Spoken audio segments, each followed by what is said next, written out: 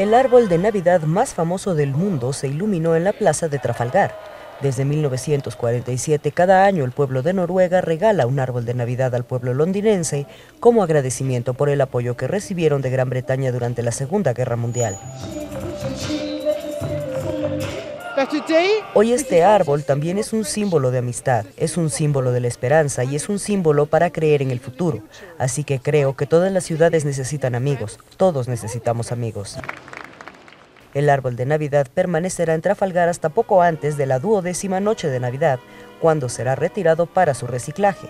El árbol será convertido en composta. Con información de la oficina en Londres, Reino Unido, Noticias Xinhua.